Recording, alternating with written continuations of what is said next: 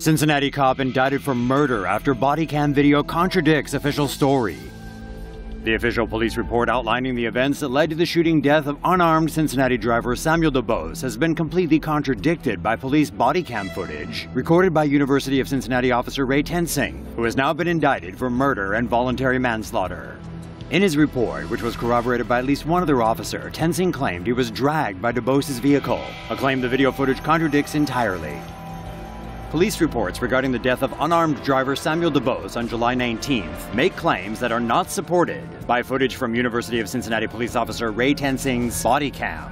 In his official statement, University of Cincinnati police officer Ray Tensing claimed he was dragged and almost run over by suspect Samuel DuBose's Honda Accord after he pulled DuBose over for not displaying a front license plate.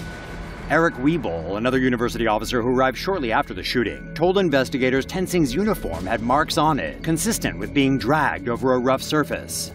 Hamilton County prosecutor Joe Deters, however, told the media the video shows Tensing was not dragged, but rather fell backwards after shooting DuBose, who was struck in the head and died almost instantly.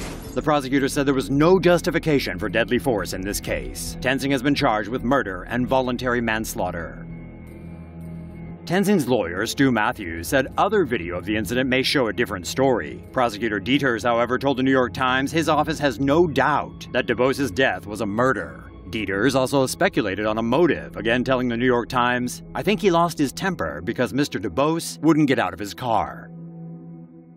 Like this video? Don't forget to subscribe and follow us on Facebook, Google, and Twitter.